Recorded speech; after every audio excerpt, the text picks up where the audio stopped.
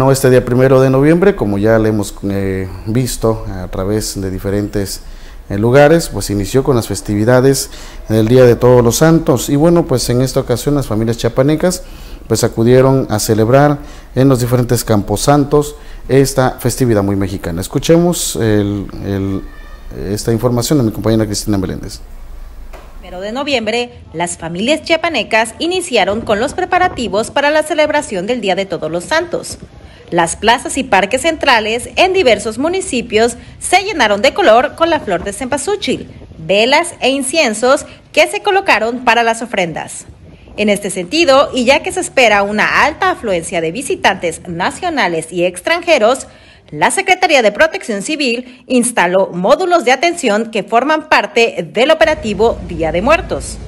Estos puntos de atención están disponibles para brindar asistencia y orientación a los visitantes a plazas públicas y panteones durante la celebración de esta festividad. La Secretaría de Seguridad Pública y Protección Ciudadana mantendrá vigilancia continua en diferentes puntos de la capital del estado, donde se espera también una afluencia de familias visitando colonias donde por tradición se llevan a cabo celebraciones de la temporada. En cuanto a los panteones y campos santos, las autoridades hacen un llamado a la población para seguir las indicaciones generales para salvaguardar la integridad de todos los asistentes, evitar el consumo de bebidas embriagantes y sobre todo celebrar de manera sana y familiar a los fieles difuntos. Para Contexto Noticias, Cristina Meléndez.